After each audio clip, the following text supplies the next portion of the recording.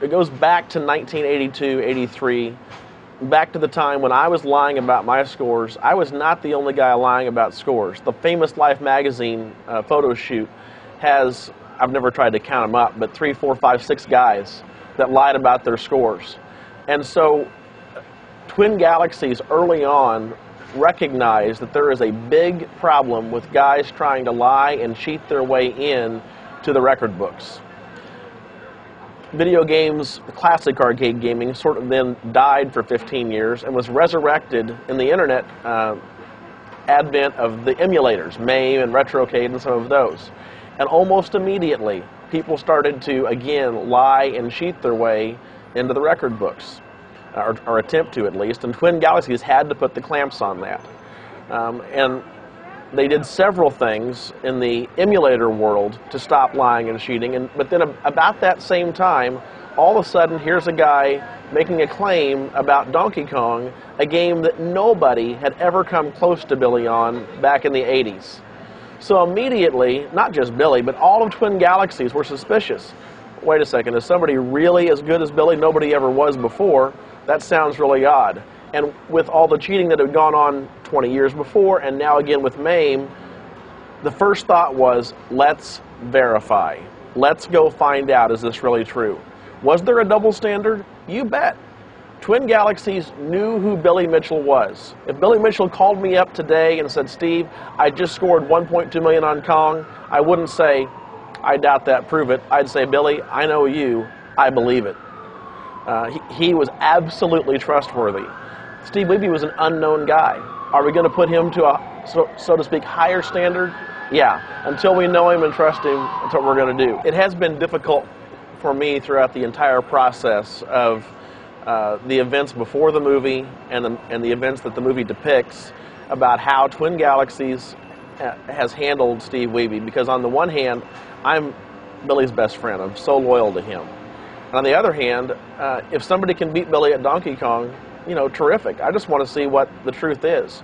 So when Twin Galaxies began to really uh, put a lot of pressure on Steve Wiebe to, to prove himself, and, and were doubting him and, and raising all kinds of, of uh, theories and points about why he might be cheating and how he might be cheating. I have to admit, I was very skeptical. skeptical. And the reason I was skeptical was some of the things they were saying about a gummy substance on one of the chips. I thought that was ludicrous.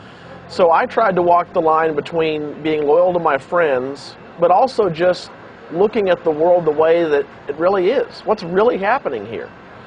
And it, it's still difficult for me to this day. The movie kind of shows that. Um, after the movie, uh, Billy is not kept any secrets about the fact that he's been upset about the way he's been portrayed. And so it's difficult for me right now. I mean, here I am having this interview, and, and Billy's not here beside me the way he was throughout the movie. I wish Billy were here. Um, that's, that's hard for me. I, I actually thought about having no further contact uh, with the makers of this movie just for Billy's sake. But I finally decided if I can just get the truth out, if I can tell the whole story, that actually is the way that I think I can be most loyal to Billy and align myself with reality and the truth. Yeah, as a matter of fact, we talked specifically about the Fun Spot videotape submission, and when I told him that that was sort of a, kind of a turning point in the movie that, to show how Billy had always been a live player, now he's this videotape guy. Um, two things he said. One was he regretted having done it that way. Um, I came up with sort of the analogy of it'd be like if Tiger Woods couldn't make it to Augusta one year, he sends in a videotape of himself shooting 59 at Augusta you know, that wouldn't achieve anything except making Tiger look like a jerk, and Tiger would never do that. Billy, when I said that, Billy recognized that it made himself look bad, and he wished that he hadn't done it. Um, but then he also made a comment to me that I have I agree with completely, and that is, it's a shame that I'm going to be remembered for a long time for that one event in my life when there are so many other things that I have done that are so good and so positive, but no one's going to know that. Well, for example, he's always been the kind of guy who thinks about um, the down and outers, the, the, needy. He's a very loving, giving kind of person. Um, the Make a Wish Foundation has been his big charity for years and years. Recently, there was a, uh, a young boy in Florida that had uh, debilitating cancer. In fact, if that child is not dead right now, I'm certain he's very close to death. And that child, like many, loved video games. And uh, when the Make a Wish Foundation contacted this child and said, What can we do to fulfill your wish?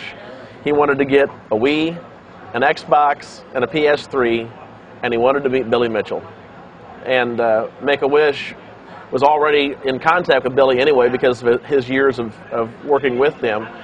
And they said, Billy, will you come uh, to this child's home and spend a day with him and show him video games? And he said, Of course, I'd be happy to be there.